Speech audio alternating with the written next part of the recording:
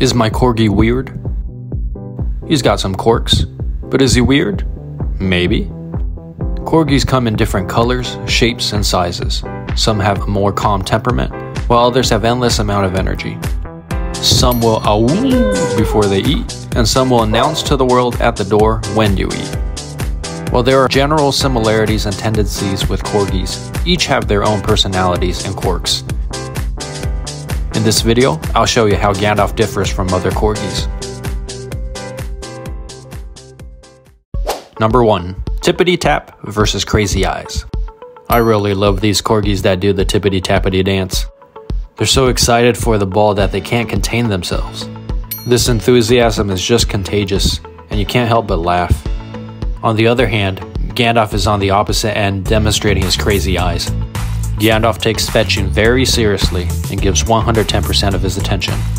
You can already see in his mind making the calculations so that he could catch the ball no matter the trajectory or velocity. He's just such a serious corgi when it comes to fetch, so I'd like to say that he's definitely in tune with Mamba mentality.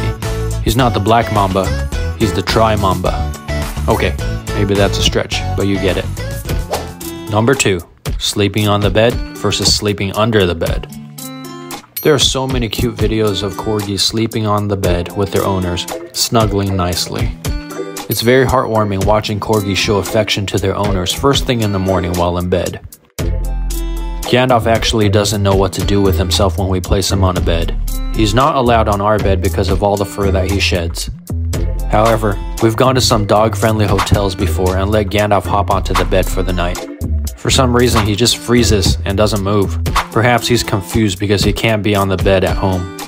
Instead, Gandalf prefers Mr. Bear or sleep by the toilet. Actually, those are two of his favorite napping spots. At night, Gandalf sleeps next to me on his bed. However, in the middle of the night, he typically goes under the bed. So in the mornings, we're greeted by this nice little surprise.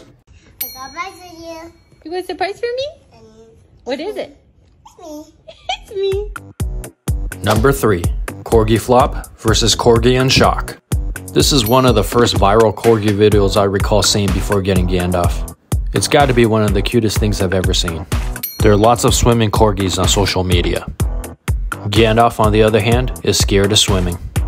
He loves playing in the water, but once his sense of security is taken away from him when his short stumps are unable to feel the ground, he panics a little bit.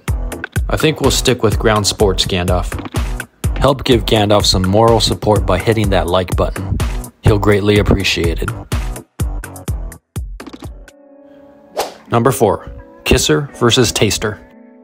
All corgis love to give warm kisses to their owners, right? Gandalf doesn't. Instead, he likes to lick my legs after a hard, sweaty workout because I probably taste like a saltine cracker. I don't think it's a sign of affection, but who knows? Comment below if your dog does this and if you know why, because I'm clueless on this weird behavior. Number 5. Patient versus impatient with food. I've shared in the past that corgis are extremely food motivated, so you would think that Gandalf would be very vocal about his food. The reality is, he is so patient. Once in a while, we let our kids help feed him, and it would literally take up to 5 minutes, and he just calmly waits for his release. On a very rare occasion, we have forgotten to feed Gandalf in the evening. Rather than bark at us to demand food, he is typically not vocal about it until we realize that we have forgotten to feed him. What a patient and good boy. Number 6. Blow dryer versus zoomies. After a bath, we usually give Gandalf a quick towel off. On occasion, we'll use a blow dryer, but overall, the towel is just enough. Gandalf has another method of drawing himself off. After a quick shake, he goes on the most epic and awesome frapping session. I'm not sure if it's all the pent up energy or he's just super excited that he's done with the bath, but this is when Gandalf has his best frapping sessions. He'll just go on and on. I have a feeling that Gandalf might not be the only dog that does this. Comment below if your dog is an after the bath frapper. We'd love to know. If you made it through this far of the video, thank you. Please be sure to hit that like button so that we can help this video spread to others. If you're enjoying these videos, be sure to check out this next video in the link below. Thanks for watching and we'll see you in the next video.